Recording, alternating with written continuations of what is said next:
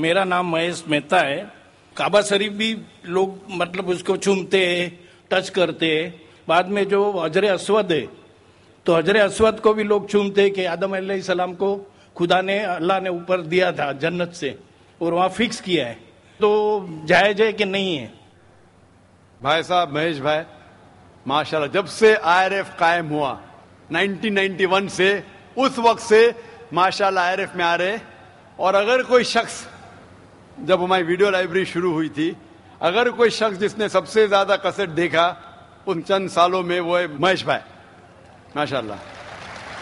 आप जो कह रहे थे कि हजर असवद को लोग चुमते बेशक मैं जानता हूँ चुमते तो क्या ये सही है? लोग को गलत फहमी है कि मुसलमान हजर असवद की इबादत करता कोई भी मुसलमान हजर असवद की इबादत नहीं करता। लोग को यह गलत फहमी है कि लोग काबा की इबादत करते हैं। क्योंकि हम मक्का जाते हैं, उम्र में, हज में, तवाफ करते हैं, नमाज़ पढ़ते उसके तरफ़ पढ़ते हैं। तो ये क्यों? इसकी वजह है कि काबा, हज असवद, हमारे लिए किबला है, किबला मीन डायरेक्शन अगर हमें आज नमाज़ पढ़ना है तो कोई कहेगा पूरब की तरफ़ देख के पढ़ो, कोई कहेगा पश्चिम, कोई कहेगा नॉर्थ कोई कहेगा साउथ, कोई ईस्ट, कोई वेस्ट, किस तरफ़ देखे? तो यकसानियत के लिए हम सारे लोग काबा की तरफ़ मुँह करके नमाज़ पढ़ते हैं।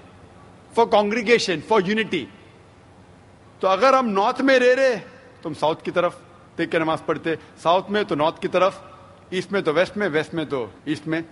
और हम जानते हैं कि जब मुस्लिम कार्टोग्राफर्स ने पहली बार जब वर्ल्ड मैप ड्रॉ किया था तो साउथ पोल ऊपर था नॉर्थ पोल नीचे। और काबा बीच में था। वेस्टर्न कार्टोग्राफर्स आए और मैप को उल्टा किया। North pole top south pole down north pole ऊपर साउथ पोल डाउन बट अलहमदुल्ला अल्हम्दुलिल्लाह फिर भी काबा बीच में ही है।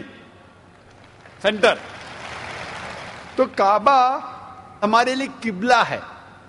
डायरेक्शन हम जब जाते उम्र के लिए, हज के लिए, हम काबा के गोल हज असमत के गोल, काबा के गोल, हम तवाफ करते हैं।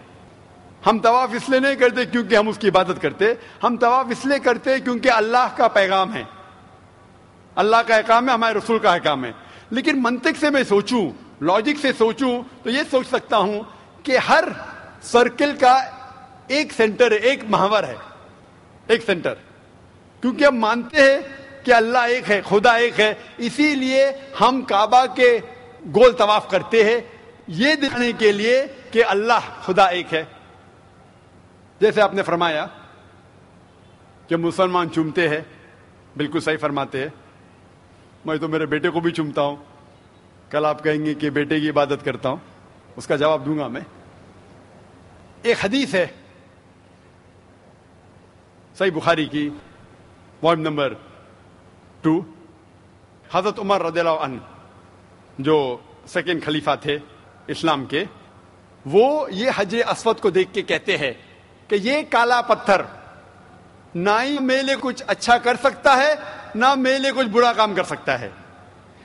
क्योंकि मेरे आखिरी रसूल मोहम्मद सल्लल्लाहु अलैहि वसल्लम से चुमा, इसलिए मैं चुम रहा हूँ। It can neither benefit me it can neither cause me harm ना मुझे कोई नुकसान पहुँचा सकता है, ना मुझे कोई फ़ायदा पहुँचा सकता है।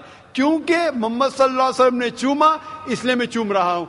ये अल्फाज दूसरे खलीफा हज़रत उमर अनहू के काफ़ी है बताने के लिए कि हम मुसलमान हजर असवद की इबादत नहीं करते। और मोहम्मद सल्लल्लाहु के वक्त पे कई सहाबा काबा पे चढ़ के आजान देते थे। अगर कोई मुसलमान काबा या हजर असवद की इबादत करता है, कोई भी बुद्ध परस जो बुद्ध की इबादत करता है, उस पर कभी भी नहीं चढ़ेगा। तो ये कहना कि हम काबा या संग या हज असवद की इबादत करते हैं, कई साहबा ने काबा पे चढ़ के आजान दी। तो ये साबित है कि हम ना काबा, ना हज असवद की इबादत करते हैं, हम सिर्फ़ उसको किबला मानते हैं और क्योंकि अल्लाह के रसूल ने चूमा, इसलिए हम चूमते हैं, हम उसकी इबादत नहीं करते। Answer question